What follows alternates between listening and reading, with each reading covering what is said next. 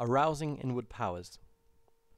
Man is heir to wonderful and illimitable powers, but until he becomes aware of them and consciously identifies himself with them, they lie dormant and unexpressed, and might just as well not exist at all as far as their use to man, in his unawakened state, is concerned.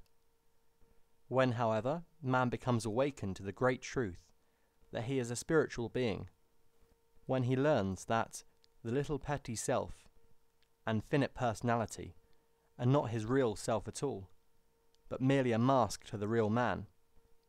When he realizes that the spiritual ego, a true divine spark of, or branch or twig of the eternal Logos, in his real self, when he understands that his body is not himself, that his mind is not himself, that even his soul is not himself, being but vehicles through which he seeks expression, but that he is spirit, deathless, diseaseless, eternal, forming an integral part of the one spirit, and being identical with it. He enters a new life of almost boundless power. It is unwise to engage in any mystical practices in an attempt to force development and unfoldment.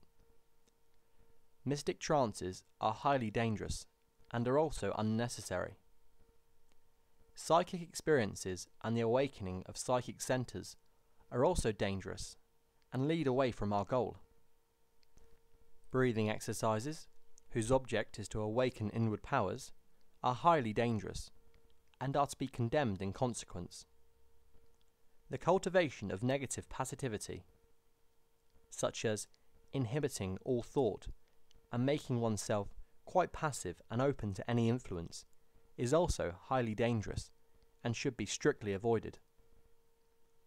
In place of all these unwise practices, a short time should be set aside each night, and also morning, if possible, for getting into touch with reality. You should then endeavour to realize that the body, mind, and soul are but vehicles of expression, mere servants of the true self or ego. This will bring about, in time, a consciousness of identity with the eternal Spirit, what Jesus called our Father in heaven. One might proceed after this fashion My body is not myself, but is merely something that enables me to live this material life and gain experience. My mind is not myself, but merely an instrument which I use and which obeys my will. My soul is not myself, but merely a garment of my spirit. My will is not myself, but is something of which I, the true self, makes use. And so on.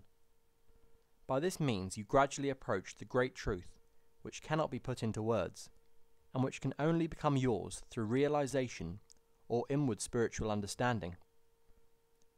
In addition, one can use a positive statement of truth.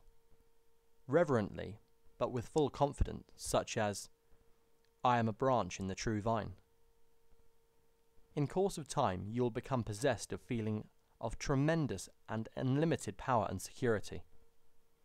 This is a great responsibility for this power must be used only in service and not for selfish purpose. If it is used for the acquisition of wealth and the gaining of temporal power, great disaster will be the inevitable result. Yet, if used aright, it is bound to have a great, though unconscious, influence for good on the life, and for this you are not responsible. Constantly endeavour to serve and bless others. Then, because you do not seek them, crowds of blessing will come into your life unbidden. Great happiness being one of the chief. Having found the kingdom of heaven, it will be your experience that all needed good will be added unto you. This power may also be used to strengthen character, to overcome the conflicts in the soul, and to build up the spiritual body which will be our vehicle of expression in higher realms.